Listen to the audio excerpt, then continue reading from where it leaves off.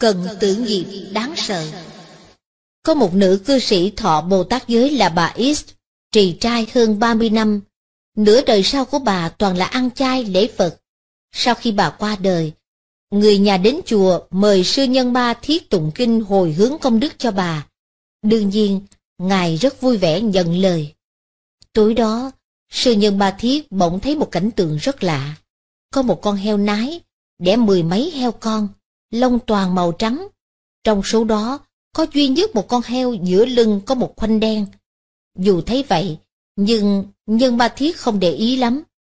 Hôm sau, người nhà bà X lại đến bái kiến nhân ba thiết, thưa rằng Mẹ con ăn chay đã nhiều năm, đã thọ Bồ Tát giới, tâm là rất tốt.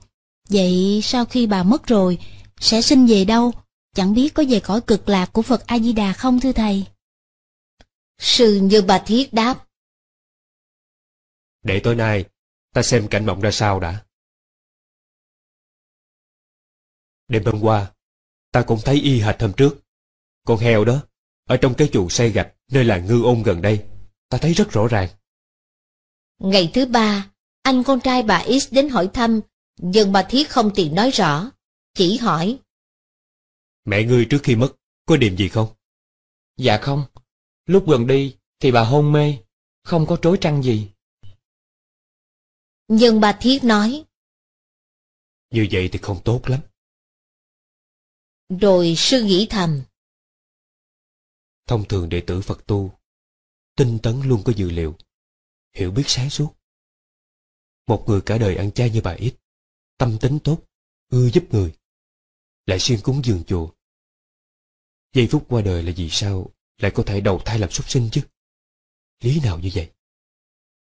Sư nhân bà Thiết không tiện nói gì với con trai bà X, chỉ căn dặn. Anh hãy quay về điều tra, hỏi thăm cả nhà xem mẹ anh có nói gì trước khi mất không. Bởi vì trước lúc mất, bà vẫn có thời gian tỉnh. Chắc chắn đã từng nói ra, từng nhắc đến cái điều gì đó. Chẳng hạn như những gì bà bông muốn thực hiện mà chưa làm được, nên cứ ôm ấp mãi trong lòng. Anh hãy về nhà và hỏi thử xem. Anh con trai vâng lời về nhà điều tra, mới biết buổi tối trước khi mất ba ngày, vợ anh đến chăm sóc bà. Nghe bà cứ nói mãi. Đem con heo đó làm thịt đi, nhanh lên. Đem con heo đó làm thịt đi, nhanh lên. Bà cứ nói tới nói lui như vậy hoài, sau đó mới mất. Nghe quyến thuộc kể lại, sư nhân bà thiết nói. Như vậy thì rõ rồi. Ta có thể xác định, bà ấy hôm nay rơi vào cảnh giới này. Hoàn toàn là do lòng cơm giữ mãi tà niệm. Thế là sư nhân ba thiết bảo thân quyến bà X. Cách nhà các ngươi khá xa có một ngôi làng tên Ngư Ôn. Có một gia đình nuôi heo. Tại đó có một con heo nái vừa mới sinh được một lứa heo, khoảng mười mấy con. Các người tới đó và sẽ thấy một con heo rất đặc biệt và khác hẳn. Hãy mau mua nó về và ta sẽ quy y cho nó. Ông chưa dám nói thẳng ra đó chính là hầu thân của mẹ họ. Bọn họ đi tìm ba ngày thì đến gương ôn và gặp heo con, màu lông y như sư nhân ba thiết mô tả. Kỳ lạ hơn nữa là heo con vừa nhìn thấy họ, thì chạy tới tỏ vẻ mừng rỡ thân thiện. Thấy thái độ con heo, thân quyến bà X không ai bảo ai, đều tự hiểu và thầm đoán đây chắc là mẹ mình. Dù không nói ra, nhưng họ rất buồn. Họ nhanh chóng mua con heo đem về chùa, thỉnh dân ba thiết quy y cho nó. Quy y xong, các con bà bàn bạc, muốn đem nó về nuôi. Dân ba thiết bảo, Không được, đã quy y rồi, cần phải đem nó đến thăm sơn phóng sinh. các quyến thuộc đều lo sau khi phóng sinh, nó sẽ bị các loài thú hung dữ khác ăn thịt. Nhân ba thiết nói, Không lẽ các ngươi muốn nó ở trong xúc đạo hoài hay sao? người nhà bèn đem nó đi phóng sinh. Phóng sinh rồi chẳng mấy chốc thì nó chết. Heo bất xong thì sinh vào cõi người. Nhân ba thiết nói, Đây là một bài học cho các ngươi cảnh giác. Mặc dù cả đời niệm Phật ăn chay, nhưng nếu cứ nói lời tà kiến, ôm mãi tâm bất chính không buông, thì cực kỳ nguy hiểm cho phút giây cận tự nghiệp, và bản thân sẽ phải đền trả cho ác niệm của mình. Tà niệm có thể khiến đương sự bị quả báo dội ngược. Khởi niệm muốn hại người hay vật cho thế nào, thì bản thân sẽ bị hại trước tiên. Vì sao mẹ các ngươi trước khi chết cứ đòi đem heo đi giết? Bởi trong tâm bà cứ ôm mãi một điều. Mong rằng lúc cháu trai trưởng kết hôn, bà sẽ làm y theo tập tục của người dân Đài Loan, là giết heo mổ dê, tổ chức tiệc cưới linh đình. Đây chính là tâm nguyện mà bà luôn ôm ấp, đeo mang và muốn thực hiện cho hôn lễ của cháu nội.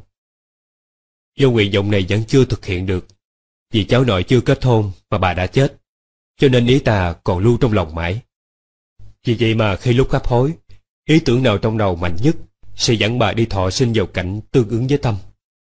Khi gần chết, lòng bà toàn sát niệm. Bà không hề tha thiết niệm Phật A-di-đà mong Ngài tiếp dẫn. Trong đầu toàn là tâm háo sát, khao khát muốn giết heo. Niệm này ôm ấp đến chín mùi, tà niệm này đã ác hết công đức và thiện niệm cả đời của bà.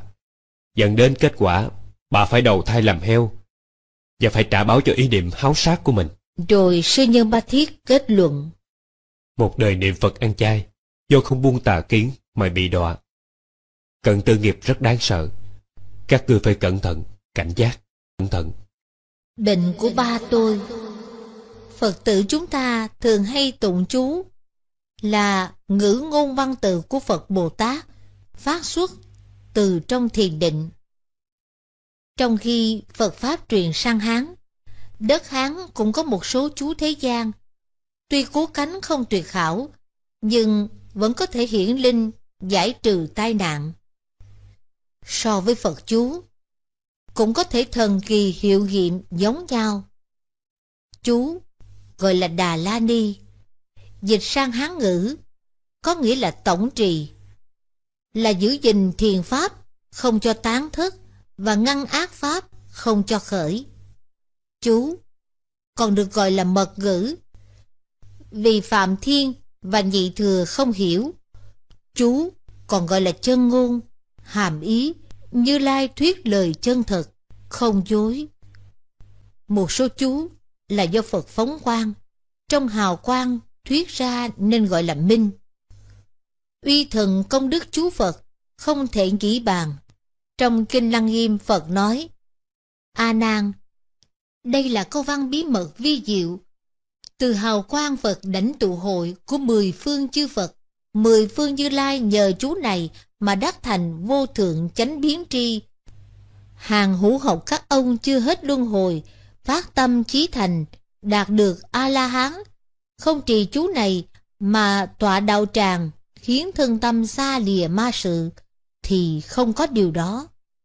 Trong kinh Thất Câu Chi Phật Mẫu Sở Thuyết Chuẩn Đề Đà La Ni cũng nói, nếu có người xuất gia tại gia nào hành trì chân ngôn, tụng chú này đủ 90 vạn biến, thì vô lượng khiếp tạo thập ác. Những tội tứ trọng, ngũ vô gián, thảy đều tiêu diệt. Sinh ra, thường được gặp chư Phật Bồ Tát, tài bảo phong diêu, thường được xuất gia. Trong kinh Đại Bi Tâm Đà La Ni nói, lúc tụng chú, mười vương chư Phật đều đến chứng minh, tất cả tội chướng đều tiêu diệt. Tất cả tội thập ác ngũ nghịch, phá trai phạm giới, phá tháp hoại tự, trộm vật chúng tăng, làm ô nhiễm hành thanh tịnh, tất cả trọng tội, ác nghiệp như thế, thảy đều tiêu diệt. Chỉ trừ một việc, nơi chú sinh nghi. Thậm chí, tội nhỏ nghiệp nhẹ cũng không được diệt, huống là trọng tội. Tuy chẳng diệt trọng tội ngay, vẫn có thể trồng nhân bồ đề về sau. Tôi ban sơ liễu ngộ sức mạnh và uy thần công đức Phật chú bắt đầu từ bệnh của phụ thân. Ba tôi đau bao tử nhiều năm, tùy theo tuổi tác tăng, bệnh bao tử càng ngày càng đau. Hôm đó, khi trời lạnh buốt, ba tôi ăn sáng xong, thì lái xe đi làm. Đến trưa, thì cảm giác bao tử nóng, muốn nôn. Ông mới ụa một tiếng, máu tươi tuôn ra giống như núi lửa phun trào vậy. Đồng nghiệp chung quanh sợ điếng hồn, không biết phải làm sao. Một người nhanh trí đỡ ba tôi dậy cho nằm nghỉ trên ghế sofa, rồi gọi điện báo cho tôi hay. Nhận được tin, tôi nhanh chóng đưa ba tôi vào bệnh viện cấp cứu. Do vội vàng, nên tôi chỉ mang theo bình cuốn sách nhỏ có chú Lăng Nghiêm chú Đại Bi, thập chú. Lúc đến bệnh viện, ba tôi nằm trong phòng cấp cứu, mặt trắng bệch, không ngừng thổ huyết. Mẹ tôi ngồi bên cạnh lo lắng, chẳng biết phải làm sao. Bà bật khóc. Trong phòng cấp cứu, nhìn giống như địa ngục nhân gian, tiếng rên rỉ, khóc lóc, kêu la vang dội không ngừng, có đủ loại bệnh tụ hội ở đây. Tôi đi liên lạc sắp xếp, đưa ba tôi vào một phòng tương đối yên tĩnh. Bác sĩ đến kiểm tra phòng nói. Người này thổ huyết quá nhiều. Nếu như không khống chế được á, thì hậu quả xấu khó lường. Tối nay á, thân nhân nhớ chú ý quan sát. Hệ thấy thổ huyết nữa, thì phải lập tức cho truyền máu. Nghe bác sĩ nói, khó khăn lắm, ba tôi mới đưa được tay lên khoát khoát, tỏ ý ông không muốn truyền máu. Tôi vội trả lời bác sĩ. Dạ dạ, chúng tôi sẽ theo dõi, có gì thì sẽ liên lạc với bác sĩ liền. Đêm đó, tôi không sao chợp mắt được, vì rất lo cho bệnh của ba tôi. Tôi đem hết lòng thành, cầm cuốn sách chú lên, bắt đầu tụng. Nói ra xấu hổ, đây là lần đầu tiên tôi tụng chú một mình. Trước đây, chỉ nghe tụng chú trên đĩa. Cho dù có lúc phát âm không chuẩn, nhưng tôi tin thành tâm, ắt có cảm ứng. Phật lực nhất định sẽ gia hộ cho ba. Tôi cũng không biết mình đã tụng bao nhiêu biến. Tôi cứ đọc mãi, đọc mãi. Cho đến khi tôi và ba của tôi cảm thấy toàn thân ấm áp thư thái. Bầu không khí an lành bao phủ khắp phòng. Sáng hôm sau, ba tôi phải làm kiểm tra bao tử. Tôi thầm niệm danh Bồ Tát Quan Thế Âm, hy vọng kỳ tích phát sinh. Uy lực chú Phật quả không thể nghĩ tưởng. Trong quá trình kiểm tra, các bác sĩ đều há miệng ngạc nhiên. Họ cho rằng bệnh này rất nghiêm trọng, khó mà tin là có thể hồi phục nhanh chóng như vậy. Vết thương cũng đã lành, xem như khả năng bị ung bú được loại trừ.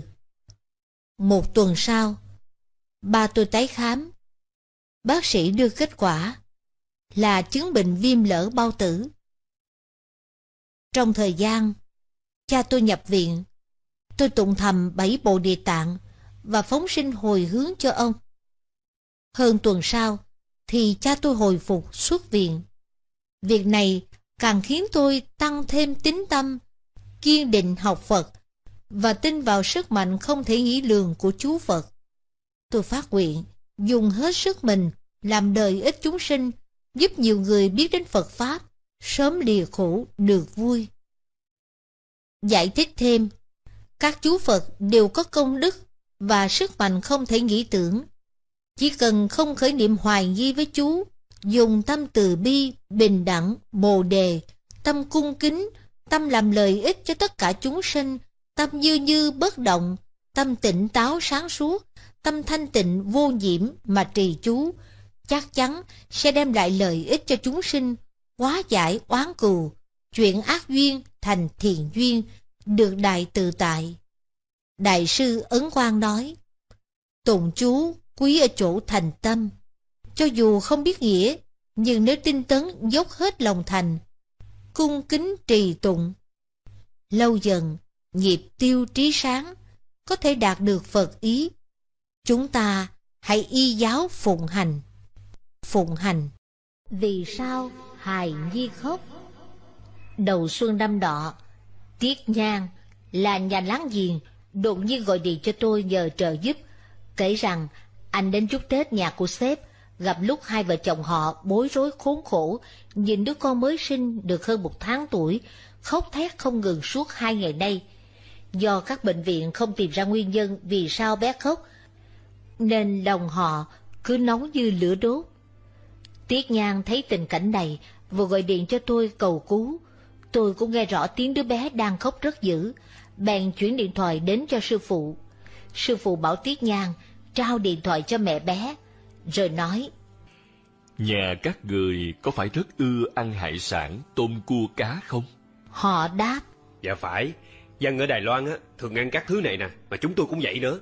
Sư phụ bảo Nếu bây giờ hai vị phát tâm không ăn hải sản nữa và chịu niệm Phật siêu độ cho những con vật đã ăn qua, thì con các vị sẽ lập tức ngưng khóc ngay.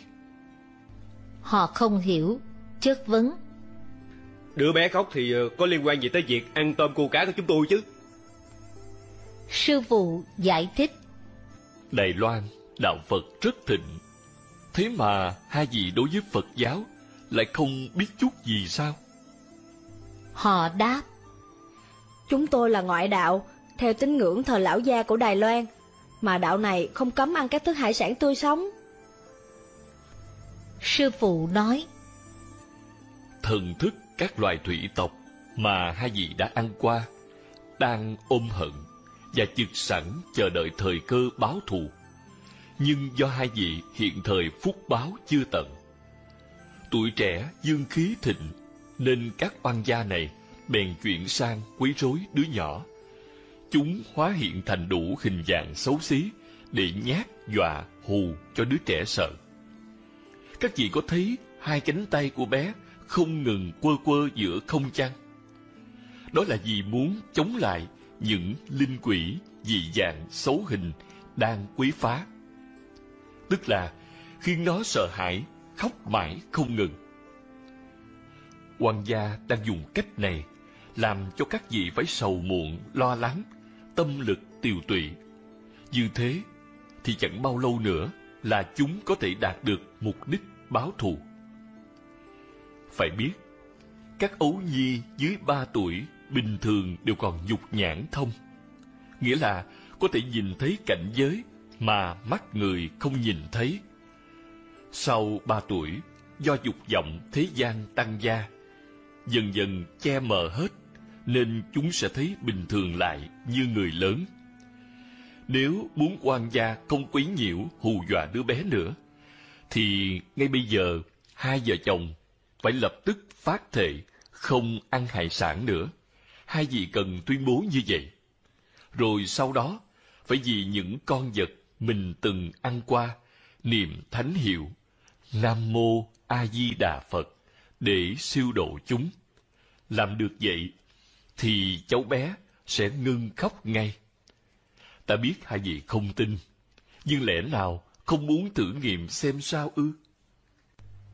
Đối phương do dự một lúc, bất đắc dĩ đành phải phát lời thề nguyện. Chúng tôi từ nay về sau không ăn hải sản nữa. Sau đó, sư phụ dạy họ niệm thánh hiệu Nam Mô A Di Đà Phật. Họ chỉ lặp lại mới vài câu thì tiếng khóc đứa bé nhỏ dần rồi từ từ dứt hẳn. Điều này khiến cho ông chủ Đài Loan cảm thấy bất ngờ và bị chấn động, cất tiếng cảm tạ sư phụ. Vợ ông cũng bật khóc, nói cảm ơn lia lịa như người mái. Sư phụ bảo họ. Hiện giờ đứa bé đã ngừng khóc. Bắt đầu từ hôm nay trở đi, hàng ngày các vị phải vì những con vật bình ăn qua, siêng năng niệm Phật, siêu độ chúng. Chưa hết, từ đây về sau còn phải phóng sinh cho nhiều để giúp tiêu nghiệp cũ, nên dính chút thời gian đến thiền viện Đại Bi, thỉnh một số kinh sách về đọc. Hai vợ chồng đều hứa nhất định họ sẽ làm theo và siêng năng lễ tụng. Hai ngày sau, Tiết Nhan cùng hai vợ chồng họ đi đến tìm Hòa Thượng Diệu Pháp lễ tạ, nhưng sư phụ đã ra đi từ tối hôm qua. Tôi bảo họ hãy đem lễ vật cúng dường thiền viện Đại Bi.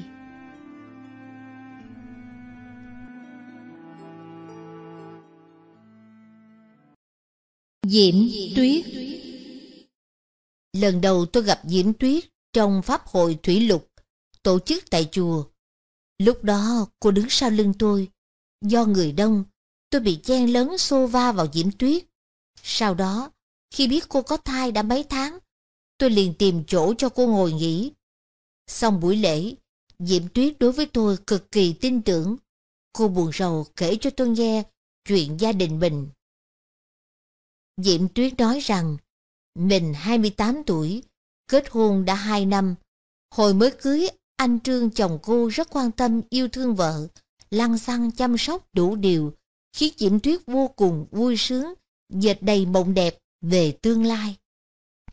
Nhưng tiếc thay, hạnh phúc thường không kéo dài. Chẳng bao lâu, mái ấm êm đềm đầy đã bị sự xuất hiện của người thứ ba là Diệp Tiểu Thư phá vỡ. Mới đầu, anh Trương chỉ lén lăng nhăng qua điện thoại. Dù có tình cờ đọc phải tin nhắn của cô Diệp, Diễm Tuyết vẫn ngây thơ chưa phát hiện ra. Nhưng sau đó, thấy chồng đi làm hay la cà ở ngoài, đêm cũng không về ngủ. Lòng Diễm Tuyết rất bất an, nhưng cô vẫn đinh đinh là có lẽ do chồng mình quá bận việc nên không rảnh để quan tâm đến mình. Cô không dám nghĩ đến điều rủi ro, bởi lúc này cô đã có tai. Một ngày mùa đông, cô tình cờ phát hiện mối giao du bất thường giữa chồng mình và tiểu thư Diệp. Bao hy vọng của Diễm Tuyết ngay đây tan vỡ. Sự thật còn phủ phàng hơn khi chồng cô ngang nhiên thừa nhận tình yêu dành cho cô họ Diệp đó. Còn nói là họ đã sống chung với nhau. Đối diện với sự phản bội của chồng, Diễm Tuyết cực kỳ thất vọng, tim như bị xé nát, phẫn nộ đến tận cùng.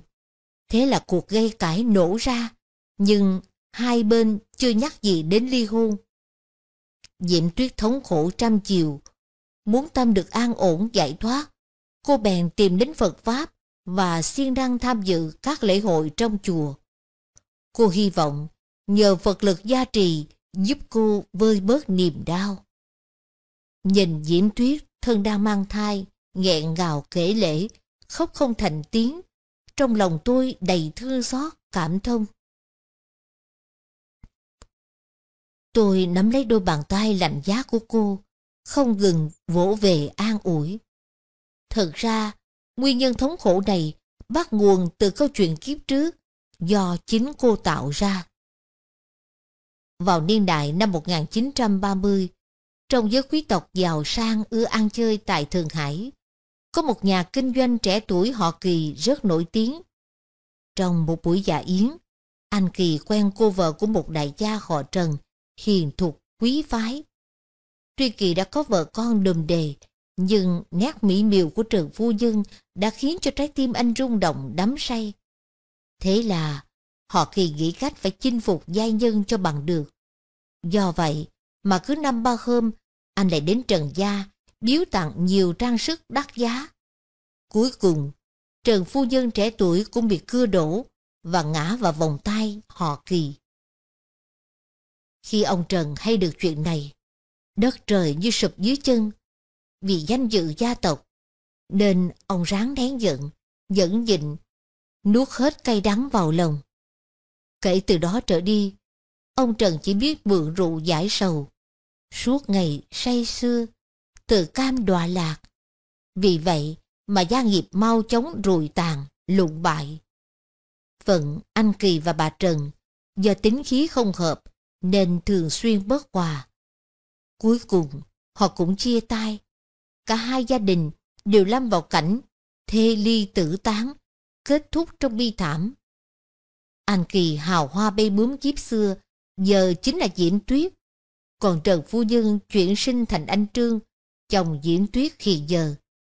Riêng Trần Tiên Sinh, người chồng đau khổ bị phụ tình, này chính là cô Diệp, giờ đang xuất hiện trong vai người thứ ba, xen vào, phá tan mái ấm của Diễm Tuyết, đã lại nỗi đau bị đoạt người phối ngẫu trong kiếp xa xưa lại cho địch thủ. Đời này, mối quan hệ vận hành theo luật nhân quả trả vay đã khiến ba người gặp lại nhau. Khác chăng là giới tính đã thay đổi, nhưng do những ác nghiệp đã tạo thuở xa xưa mà người trong cuộc phải nếm lại mùi vị thống khổ từ bi kịch hôn nhân này. Tôi bảo Diễm Tuyết. Bạn đừng nên khởi tâm hận quán chồng nữa.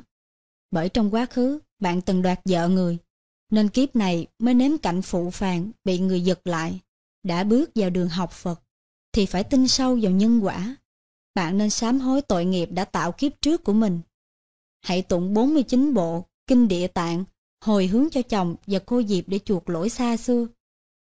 Nếu bạn chịu thành tâm sám hối, tụng kinh, ăn chay, phóng sinh, thì tương lai đời bạn sẽ hạnh phúc. Diễm Tuyết mắt đầy lệ, mỉm cười, gật gật đầu. Sau này, khi gặp lại Diễm Tuyết, tôi giận không ra, vì trong cô trẻ đi rất nhiều, mặt mày hồng hào, cười rạng rỡ.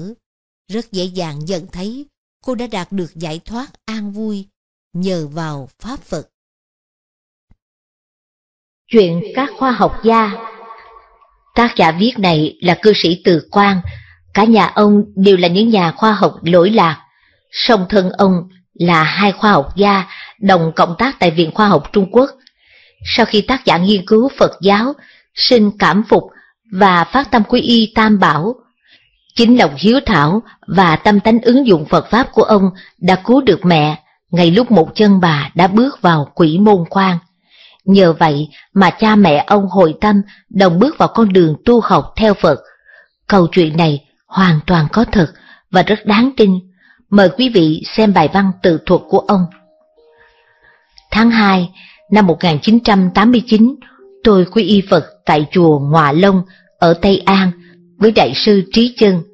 Năm 1991, tôi đến nhậm chức và giảng dạy tại một cao học nọ ở Bắc Kinh. Hơn 20 năm nay, tôi chuyên giảng dạy đào tạo người, vừa nghiên cứu khoa học, vừa tu hành. Tuy chưa đủ tinh tấn, nhưng trong sinh hoạt lẫn công tác đã hưởng được nhiều lợi ích thâm sâu. Trước đây, những chuyện học Phật chiêu cảm ứng vô biên toàn là tôi được nghe các pháp lữ kể. Nhưng sau này thì chính tôi đích thân trải qua. Chuyện có thật này phát sinh ngay tại nhà tôi, kỳ lạ và huyền diệu không lường. Vì muốn báo ơn chư Phật, Bồ Tát, tôi xin đem việc này thuật lại, mong chư vị Phật tử tăng trưởng thêm lòng tin chân chánh kiên định. Đầu năm 2008, mẹ tôi bệnh tim và cao huyết áp nghiêm trọng. Chưa đầy nửa năm, đã bốn lần do tim đập mạnh, ngừng đột ngột mà bị hôn mê ngất xỉu. Có lần ba tôi ra chợ mua đồ, mới rời mẹ tôi ra đường, chừng khoảng nửa tiếng, thì khi về đã thấy bà té nằm trên đất, dập đầu chảy máu. Rồi sau đó, dù bà có tỉnh, nhưng không đủ sức bò dậy. Lúc tôi đưa mẹ đến các bệnh viện lớn điều trị, mẹ tôi không còn sức để đi. Bác sĩ khám, thấy tim mẹ tôi đập nhanh hay bị hồi hộp, hoảng loạn, mạch bị bể và nhảy bất thường. Bác sĩ bảo, người già 85 tuổi mà mổ sẽ nguy hiểm rất lớn, nếu không suy kiệt đến cùng thì cố gắng không phẫu thuật. Vì vậy, chỉ có thể dùng thuốc để xoa dịu bệnh tình thôi. Đến năm 2009, mẹ tôi cứ cách một hai ngày là phát bệnh, cơ hồ suốt đêm không ngủ được. Bác sĩ cho thuốc trị tim và cao huyết áp, nhưng thấy điều vô hiệu. Thế nên tôi thật buồn khi nhìn cảnh mẹ tôi trị bệnh không hiệu quả. Những khi tiết trời thay đổi, bệnh bà càng trở nặng. Thậm chí, đài khí tượng mới dự báo khí lạnh vừa đến Tân Cư, thì mẹ tôi đã cảm thấy khó chịu rồi. Thân thể bà suy cực điểm. Ban đêm, tim thường ngừng đập và nhảy loạn xạ, gây cho bà cảm giác hồi hộp khủng hoảng. Thứ bảy cuối tháng 5 2009, tôi đến thôn Trung Quang thăm sông thân. Cha tôi bảo, khi trời mùa hạ ôi bức, nung nấu như thế này, e rằng mẹ con không qua khỏi. Không thể ngồi đó nhìn mẹ chờ chết. Trong giây phút nguy cấp, tôi nghĩ đến Phật Pháp và muốn ngầm tạo công đức cho mẫu thân. Lúc đó tôi mới thuộc Kinh Kim Cang. Tôi biết Kinh Kim Cang vi diệu không thể nghĩ lường nên quyết định tụng Kinh Kim Cang hồi hướng công đức cho bà cầu chư Phật Bồ Tát gia hộ bệnh mẹ tôi chuyển tốt. Thế là Chủ nhật, tôi bắt đầu tụng, hàng ngày cứ 5 giờ sáng, tôi thức dậy tụng một bộ kinh Kim Cang, tụng rồi thì hồi hướng hai nguyện. Một, trước tiên là cầu cho quan gia trái chủ của mẫu thân. Học Phật hơn 20 năm, tôi biết những bệnh chữa trị vô hiệu đều thuộc về nghiệp chướng, nhất định là do quan gia trái chủ tìm đến đòi nợ, quấy nhiễu. Vì vậy, rất cần hồi hướng cho những quan gia trái chủ mà mắt phàm không nhìn thấy này. Nội dung hồi hướng đại khái như sau. Tôi xin hồi hướng công đức tụng kinh Kim Khang này cho tất cả quan gia trái chủ của bổn thân. Xin chư vị quan gia đừng hành hạ dày vò mẹ tôi nữa. Tôi biết các vị rất khổ, mẹ tôi cũng khổ. Nhưng cứ quấy nhiễu như thế này sẽ khiến đôi bên lưỡng bại câu thương đều bị thiệt hại. Giờ đây tôi tụng kinh Kim Cang, xin hồi hướng công đức cho chư vị, cầu chư vị tiêu nghiệp chướng, có thể ly khổ đắc lạc, thác sinh vào cõi lành, mong chư vị phát tâm quy y tam bảo, tin và nguyện niệm Phật, vãng sinh Tây phương cực lạc thế giới. Hai, sau đó tôi hồi hướng cho mẫu thân như sau, nguyện mẹ con nghiệp chướng tiêu trừ, phúc huệ tăng trưởng, khang kiện trường thọ, phát tâm tin và nguyện niệm Phật. Sau khi mãn báo thân này, vãng sinh Tây Phương cực lạc thế giới.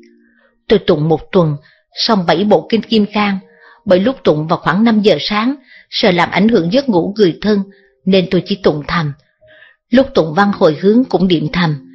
Trong tâm, tưởng rõ ràng từng biến, chỉ là không đọc ra tiếng, nhưng mà chuyện tụng kinh kim cang hồi hướng cho mẹ này, tôi tuyệt chẳng hé răng nói với mẹ hay bất kỳ ai biết. Sau một tuần, tôi đi Trung Quan thăm song thân, khi tôi hỏi thăm bệnh tình của mẹ, phụ thân tôi tỏ vẻ hưng phấn nói. Thật may mắn rằng cả tuần nay tim và huyết áp của mẹ tôi đều ổn, cho nên hàng ngày bà ngủ rất ngon. Liên tục 7 ngày mà không phát bệnh, đây là việc chưa từng có gần một năm nay. Nghe vậy, tôi khắp khởi mừng, thầm đoán rằng chuyện mình tụng kinh cho mẹ đã có tác dụng. Thế là tôi kể cho mọi người nghe sự tình, ai nghe xong cũng ngạc nhiên, đồng cho là vi diệu. Sau đó, mẹ tôi khai ra chuyện bà giấu giếm bấy lâu. Tôi nghe càng chấn động dữ. Mẹ tôi thố lộ rằng, trước đây bà sợ nói ra, cả nhà không ai thèm tin, nên đằng im lặng. Số là gần một năm nay, tối nào bà cũng bị huyết áp tăng cao, tim mệt cực kỳ, ngủ không được. Hơn nữa, còn luôn nhìn thấy có người đi qua lại trong nhà.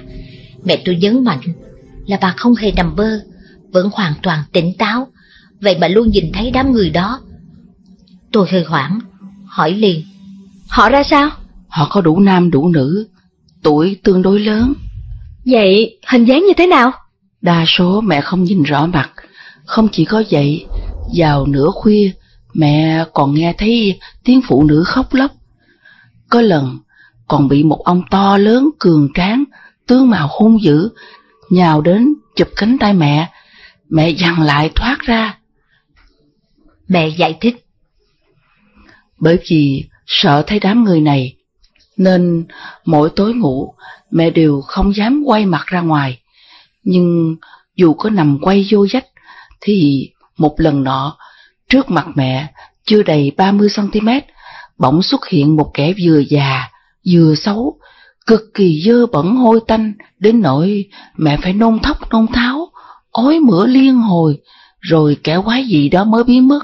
Trước năm 1949, mẹ tôi tốt nghiệp đại học. Hồi chưa nghỉ hưu, từng là nhân viên Viện Nghiên cứu Khoa học cao cấp Trung Quốc. Bà làm việc tại thôn Trung Quang, do bản thân là dân trí thức cấp cao, lại có bề dày công tác mấy mươi năm tại Viện Khoa học. Bà đâu có bao giờ tiếp xúc với những gì được xếp loại là mê tín. Tất nhiên, chẳng thể nào chấp nhận được các hiện tượng bao gồm người và vật thuộc lĩnh vực này. Bà không bao giờ tin là có quỷ thần. Nhưng lần này, oái âm thay, chính bà là đích thân diện kiến quỷ khi còn đang sống, lại không phải do ảo giác mà thấy. Điều này khiến mẹ tôi dù không muốn cũng phải tin. Tôi hỏi, Sao mẹ không nói sớm cho con biết? Mẹ không hiểu chuyện này rất nguy và đáng sợ hay sao? Điểm đáng sợ chính là khi đó một chân mẹ đã bước vào quỷ môn quan rồi. Tôi giải thích cho mẹ rõ. Trong lục đạo thì nhân đạo, súc đạo và quỷ đạo, cả ba cõi này đồng sống trong một không gian. Cõi súc sinh chúng ta có thể nhìn thấy, nhưng cõi quỷ thuộc âm tính. Vì vậy mà con người bình thường nhờ dương khí thịnh hơn, nên những chúng sinh cõi quỷ không cách chi tiếp cận được, bởi vậy mà ta không thấy họ. Thế nhưng các quan gia trái chủ đã qua đời, hiện đọa trong quỷ đạo luôn chật sẵn, đợi lúc con người bệnh nặng hoặc sắp chết, khí âm thịnh và dương suy thì chúng lập tức đến tiếp cận để đòi nợ, hành hạ, báo thù. Vì vậy, ngay giây phút mẹ nhìn thấy chúng sinh cõi quỷ, tức là một chân đã bước vào quỷ môn quan rồi, nếu mẹ chịu báo sớm cho con hay mọi điều, thì con có thể làm Phật sự để giải cứu cho mẹ sớm hơn. Mẹ nói, Nhưng khoảng một tuần nay, mẹ không còn thấy quỷ nữa. chính là bắt đầu. Từ hôm tôi tụng kinh hồi hướng công đức cho mẹ và quan gia trái chủ của bà, thì gây tối đó chúng quỷ đã biến mất hết, suốt cả tuần không đến quấy rầy nữa. Tròn cả nửa năm sau, tôi một bề tùng kinh kim cang hồi hướng cho sông thân, tùng khoảng một trăm bộ. Kể từ Chủ nhật mùa hạ Năm 2009 trở về sau, bệnh tim và chứng cao huyết áp của mẹ tôi đã chuyển tốt. Mỗi ngày uống thuốc một lần, lượng thuốc cũng giảm đi phân nửa, ít hơn bình thường. Song thân tôi thuộc giới trí thức, họ tốt nghiệp đại học trước năm 1949, cùng là nhà khoa học ưu tú, công tác tại Viện Khoa học cao cấp, nên thuyết phục họ tin Phật rất khó. Tôi học Phật đã hơn 20 năm, một bề tuyên dương Phật Pháp cho song thân hiểu, nhưng gia phụ một mực bán tính bán nghi, còn mẹ tôi thì dứt khoát không tin. Nhưng kể từ lúc tôi tụng kinh Kim Cang cầu cho mẹ, chưa được cảm ứng vi diệu, chính việc này đã khiến cho hai nhà khoa học gia cứng cỏi của tôi chấn động và cảm kích. Lần này thì hai vị hoàn toàn tâm phục khẩu phục, bắt đầu tin Phật giáo và phát tâm niệm Phật, cầu sinh Tây Phương. Mẹ tôi năm nay 88 tuổi, hàng ngày, mỗi sáng tối bà đều bỏ ra một tiếng đi tản bộ, vừa đi vừa niệm Phật, tinh thần và sức khỏe sung mãn. So với nửa năm trước, giống như là hai người khác nhau vậy. Gia phụ cũng 88 tuổi, hàng ngày ông kinh hành niệm Phật hơn 2 tiếng. Tôi còn mua máy niệm Phật cho mở ở nhà suốt 24 giờ, hỗ trợ song thân, nhiếp tâm mạnh thêm. Chuyện cảm ứng của tôi, nếu nhận xét theo khoa học, vẫn hội đủ điều kiện để chứng minh. Rõ ràng là, suốt tuần lễ, tôi tụng kinh Kim Cang cầu cho mẹ, tôi không hề thố lộ điều này cho song thân hoặc bất kỳ ai biết. Và ngay trong thời gian tụng kinh, tôi cũng hoàn toàn không hay biết gì về chuyện bí ẩn của mẹ. Vì vậy, khi mọi sự được hóa giải êm đẹp, chẳng thể kết luận bằng tất cả do tôi từ khỉ ám thị hoặc ảo giác tạo thành. Do vậy mà tôi hoàn toàn xác tính công đức kinh kim cang, quả thực màu nhiệm, không thể nghĩ lường. Lá thư độc giả Kính sư cô, con xin báo một tin vui để sư cô mừng cho con và cũng để sư cô phấn khởi khi biết công lao dịch thuật của sư cô đã giúp cho đời và giúp cho người vô cùng trọng đại. Chắc sư cô còn nhớ, hơn hai năm trước, mắt trái của con đỏ và chảy nước mắt, nóng rát vô cùng. Bác sĩ nhãn khoa ở Mỹ đã tận lực chữa cho con mà không khỏi, còn 20% là mù hẳn. Sau khi đọc về thanh xà bạch xà trong câu chuyện Nước tràn Kim Sơn Tự, nơi sách báo ứng hiện đời tập 3 của sư cô dịch, thì một niềm hy vọng lé lên. Thế là con trì kinh địa tạng và lại sám hối lương hoàng xám khoảng 10 bộ, thì bệnh mắt bớt dần, rồi sau đó khỏi hẳn. Tới giờ tính ra đã gần 3 tháng rồi. Con báo tin chậm là do phải chờ xem mình đã thật lành hẳn hay không. Đến giờ thì chắc chắn bệnh đã lành hoàn toàn rồi. Hiện tại thì con thấy đường rất rõ, dù lái xe ban đêm. Bác sĩ chữa mắt cho con cũng là một Phật tử thuần thành. Sau khi nghe con tâm sự, cô ta ôm chầm lấy con mừng rỡ, cả thầy thuốc và bệnh nhân đều rơi nước mắt. Một lần nữa, con xin tạ trọng ơn sư cô và kính chúc sư cô sức khỏe. NT 25 tháng 10 năm 2014 Lời người dịch Trên đây là lá thư của một nữ độc giả ở Mỹ từng dạy cho các sinh viên Mỹ, nay đã về hưu. Tôi xin mạng phép đăng lên để độc giả có bằng chứng xác thực và tăng thêm niềm tin. Xin lỗi nữ độc giả này vì đã không hỏi ý cô mà đã tự tiện tải đăng. Vì lợi ích bao người, mong cô tha thứ cho. Dịch giả ngày 25 tháng 12 năm 2014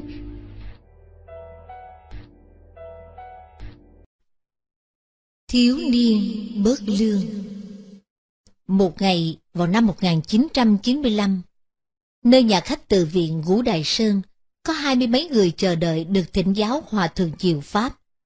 Những người này đến từ trời Nam đất Bắc, luôn phiên nhau hỏi, mà vì sư phụ sung mãn trí huệ kia, các vấn đề khách nêu lên dù nặng đề đến mấy, ngài đều giải đáp hết sức ổn thỏa, dễ dàng. Tất cả giống như vừa trị bệnh là thấy có hiệu quả ngay, lây người tỉnh mạnh. Khiến cho người nghe cảm giác như được uống cam lồ, pháp hỷ tràn trề, sung mãn. Bạch sư phụ, con từ Đài Loan sang Đại Lục khám bệnh, Ba năm trước con bị bệnh nặng lắm, sau đó toàn thân phát đau đớn, bị hành hạ, còn ăn uống không có vô, ngủ cũng không được nữa. Tứ chi nó quể quải không có sức lực, thống khổ vô cùng sư phụ ơi. Các bệnh viện lớn ở Đài Loan có chẩn khám con là không có ra bệnh, họ chỉ nói là công năng thần kinh thực vật bị rối loạn cái gì đó. Con đã tiêm nè, chăm uống đủ thứ thuốc, nhưng vô dụng hết. Mà uống nhiều thuốc vô còn bị tác dụng phụ nữa. Thân thể của con là ngày càng suy. Lần này con đến Bắc Kinh khám, họ cũng chẩn đoán nói y như ở Đài Loan vậy đó. Không ai tìm ra nguyên nhân gì hết. Còn chán nản quá trời quá đất luôn. Trước khi về Đài Loan, con muốn lên ngũ Đài Sơn bái Bồ Tát. Vừa rồi có nghe một cái lão tiên sinh đi cùng xe, luôn miệng tán thán ngài. Nếu như mà ngài có thể chữa lành bệnh cho con, thì tốn bao nhiêu con cũng trả hết. Người đang nói, khoảng hơn 30 tuổi, thân hình gầy ốm, ngũ quan, tuy đoan chánh, nhưng sắc mặt rất âm u. Từ anh ta thoát ra một luồng tà khí hắc ám, so với các thiện chứng đang ngồi tại đây thì rất là tương phản. Âm thanh sư phụ không cao, nhưng đầy nghiêm nghị, lạnh nhạt. Ngài nói, anh chẳng phải là đồ đệ ta, không cần gọi ta là sư phụ. Ta cũng không phải là đại phu, không có khám bệnh, càng chẳng dám lấy tiền của anh. Anh hãy đi về mà thỉnh các vị cao minh khác đi. Nói xong, hòa thượng truyền lệnh đuổi khách, khiến những người ngồi tại đó rất ngạc nhiên. Xưa nay, ngài chưa từng đối với ai như vậy. Người Đài Loan này cảm thấy rất khó chịu, gương mặt xám vàng của anh ta bỗng đỏ phừng phừng lên. Anh tức giận nói. Nhà Phật không phải chuyên trao giảng từ bi hay sao? Lý do nào mà ông không khám cho tôi mà khám cho người khác không vậy? Là còn muốn đuổi tôi đi về nữa, trong khi tôi chưa hề đắc tội với ông mà. Sư phụ sắc lạnh và thật nghiêm.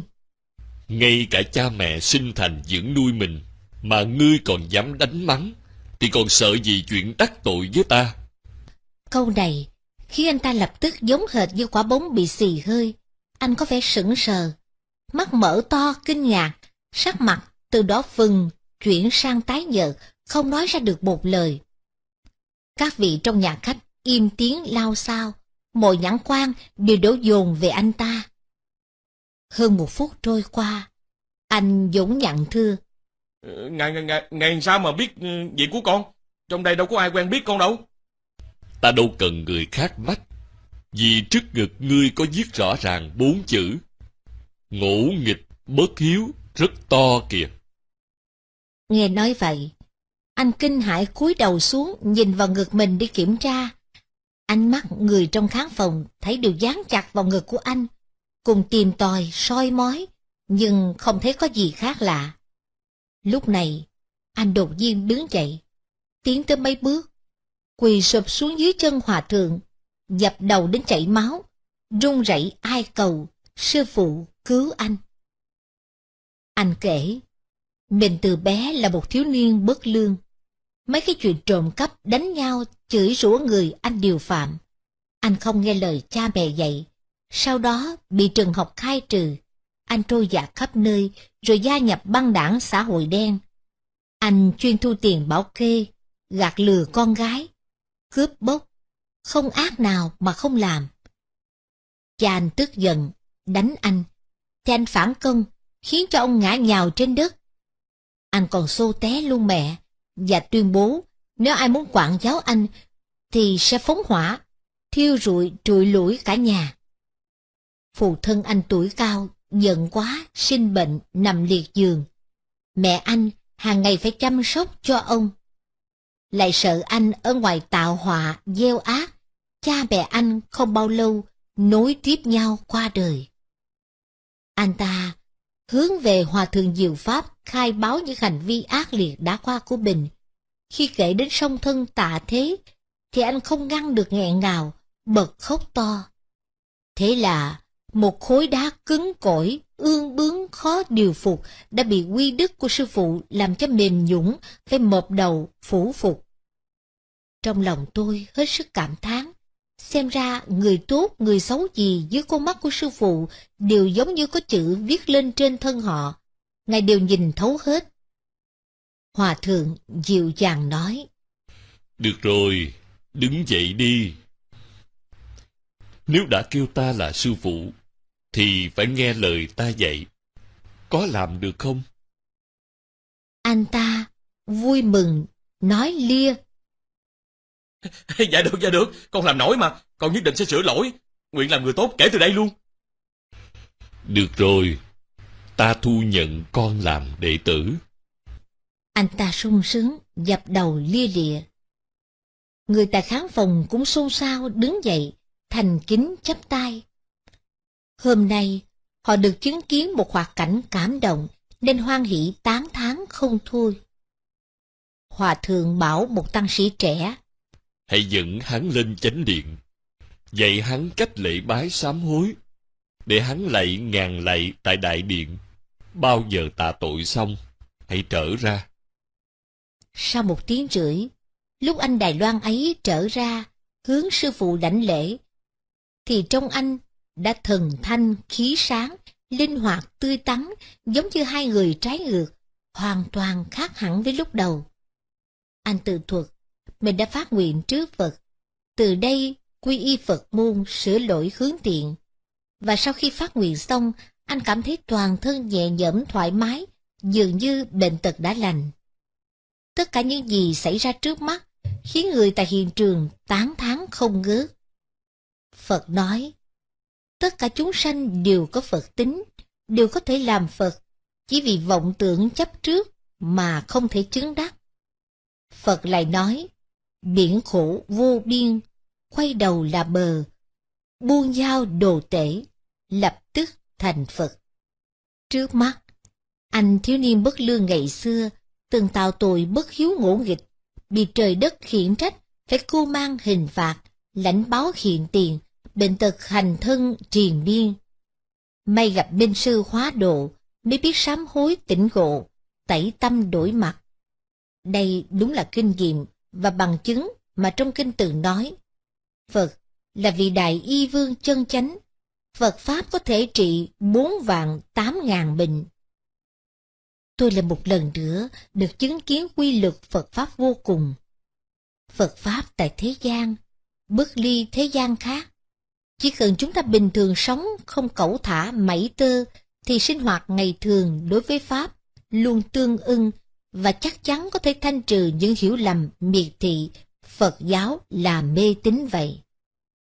Vậy. Tình chấp nhiều đời Khi Hòa Thượng Diệu Pháp dẫn tôi đến một đại đạo tràng nọ, thì sư bà trụ trì ni tự này kể cho Hòa Thượng nghe, nơi đây có hai sa di ni khoảng hơn 20 tuổi, tướng mạo trang nghiêm. Trước khi xuất gia, họ đều đã tốt nghiệp đại học, có bằng thạc sĩ. Sau khi họ phát tâm xuất gia rồi, thì tụng niệm bái sám, kinh điển thuộc mau. Các oai nghi, mỗi mỗi đều ổn. Lẽ ra, hai cô này có thể nổi bật xuất sắc trong chúng. Nhưng ngặt nổi, họ mắc phải chứng bệnh, đồng tính luyến ái mà trụ trì khuyên mãi không được. Xin gọi họ là Ni Is và Ni Y. Mới đầu hai cô này chẳng ai lìa ai, ngủ thì nằm sát đơn nhau, đứng đâu cũng đứng cùng, lên điện tụng kinh sớm tối thì một trước một sau, vào thiền đường thì cũng ngồi kề bên nhau, thậm chí ngay cả đi rửa tay hai người cũng chẳng phân ly. Mới đầu, đại chúng chẳng để ý, nhưng lâu dần, trong chúng bắt đầu lưu tâm, phê bình. Bởi vì khi trụ trì, phái một trong hai người đi làm việc, thì người kia nhất định phải đi theo, nếu không cho, thì làm ầm lên. Lần đó, thấy vấn đề tuy không nghiêm trọng, nhưng lại ảnh hưởng đến sự thanh tịnh trong đạo tràng đi chúng. Mặc dù cả chúng ngoài miệng không nói gì, nhưng thường để mắt đến họ, cũng không phát hiện họ có hành động gì phạm thanh quy. Sư trụ trì đã nhiều lần khuyên nhủ hai cô. Sau khi góp ý phê bình xong, thì Ni X bắt đầu lánh xa Ni Y. Nào dè lại phát sinh việc không hay. Ni Y không chịu nổi cảnh Ni X lánh xa mình, nên giữa hai người xảy ra tranh cãi. Mặc dù họ không dám lớn tiếng làm ồn, nhưng cả hai thường gây nhau đến đỏ mặt, tía tai. Có tranh cãi cho lắm, thì y vẫn không chịu để cho ít xa mình nửa bước, cứ theo kè kè, giống như mẹ che chở con đi trên đường vậy. Theo như hai cô kể, tình cảm bọn họ có từ thời trung học, bắt đầu quen là thân ngay. Có thể nói rằng, vừa gặp mặt đã thấy thương liền. Từ lúc quen biết đến giờ, họ chưa hề xa nhau. Vào đại học, cũng chung trường. Ở ký túc xá sinh viên, dù người giường trên, kẻ giường dưới, nhưng hai người vẫn thường ngủ chung. Chỉ cần X ở ngoài tầm nhìn của Y là trong lòng Y rất bất an.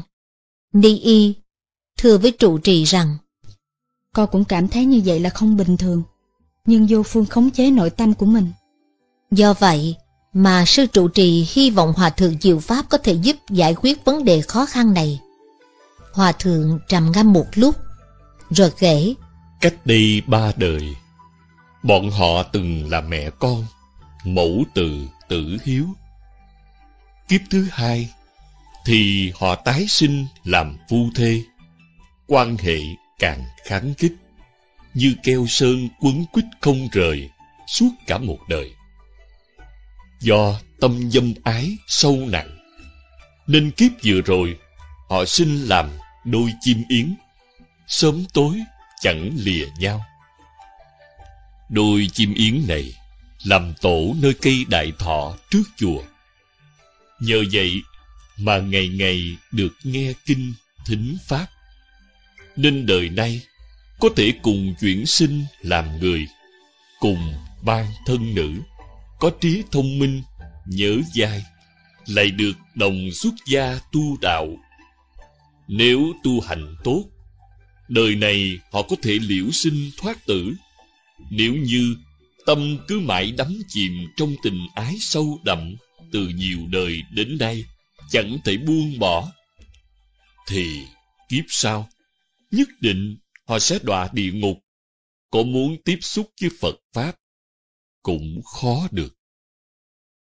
Kể xong, Hòa Thượng đáp ứng lời sư trụ trì thỉnh cầu, đặc biệt khai thị cho hai cô ni kia. Khi hai cô hiểu rõ nhân duyên của họ rồi, lập tức phát nguyện buông bỏ hết. Họ cùng lên đại điện xin sám hối, phát thệ sẽ tu hành tốt. Con đường làm giàu Người ta ai cũng ưa phát tài. Có người biết nắm lấy cơ hội nên tâm muốn sự thành. Có người tùy khả năng mà vươn lên theo thời, nỗ lực phấn đấu, dốc hết cả đời, cuối cùng cũng thành tựu. Có người dù tích lũy lắm tiền của, tuy được tài phú nhưng không bền lâu, vì sai lầm một chút mà ôm hận thiên thu. Hơn 10 năm nay, tôi theo hầu hòa thượng diệu pháp, chứng kiến nhiều người đến thỉnh giáo ngài vấn đề này. Vì vậy, tôi tuyển chọn hai câu chuyện có thực, tiêu biểu, chia sẻ cho độc giả nghe. Như đã thuật, trong quyển Báo ứng hiện đời tập 1, nơi mục Pháp ngữ của Hòa Thượng, có cư sĩ hỏi, làm sao để tụ nhiều tiền tài, nhằm giúp kiến thiết đạo tràng?